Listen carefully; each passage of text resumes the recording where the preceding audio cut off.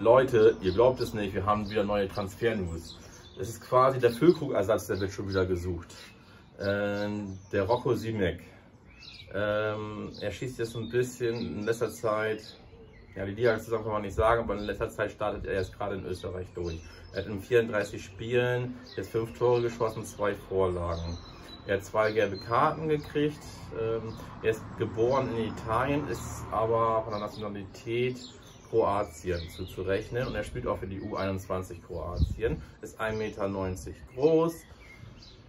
Ähm, hat jetzt insgesamt 1672 Minuten an Spielzeit gekriegt und hat in der U21 Nationalmannschaft auch 8 Tore geschossen.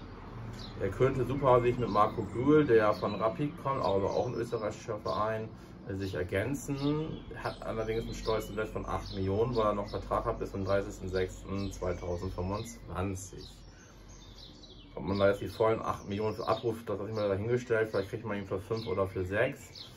Oder man kann Gucci oder äh, Ducci gut verkaufen, dass man noch ein bisschen dann in einen jüngeren Spieler rein investiert, weil der ist erst 20. Wir wissen durch Andreas Herzog, der uns die österreichische Liga quasi ja immer abgrasen tut als Scout, äh, beziehungsweise den kann man eben schnell anrufen, die kennen sich ja, die, die Wege sind da kurz. Ähm, äh, Marco Arnautovic hat er auch damals uns empfohlen. Äh, da kann ich echt nur sagen, dass da der Andreas Herzog da immer ein gutes Ohr für hatte, für gute Spieler. Und das könnte ein wunderbares Team werden. Weil hast du diesen Marco Gruhl, der mehr so die Ducci-Position spielt. Und ähm, ja, Simek könnte dann die Füllkrug-Position spielen. Dann heißt es aber wahrscheinlich, wer da bleibt bei seinen 3-5-2. Dann macht das nicht wirklich Sinn, das Spielsystem wieder zu ändern, wenn man den jetzt verpflichten sollte. Oder du willst den in der Hinterhand haben, dass du halt, wenn das nicht läuft mit den 4-3-3, dass du auch mal die Möglichkeit hast, das Spielsystem abzuändern, dass du mal wieder dieses 3-5-2 wieder spielen kannst, wenn du es möchtest. Dass man variabler quasi ist. Kann ich mir so denken, kann ich mir so vorstellen, weil ein Bundesliga-Club muss mehr wie ein Spielsystem spielen. Die müssen eigentlich drei Stück spielen. Ja, ansonsten habe ich glaube ich alles erzählt.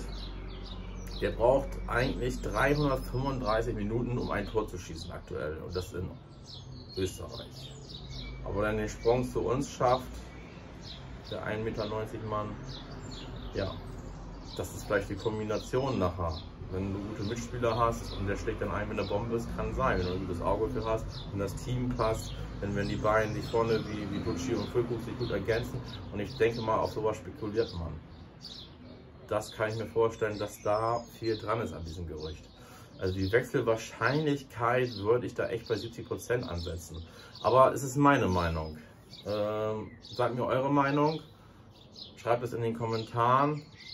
Und vielleicht wisst ihr ja auch schon mehr. Schreibt es auch gerne drunter.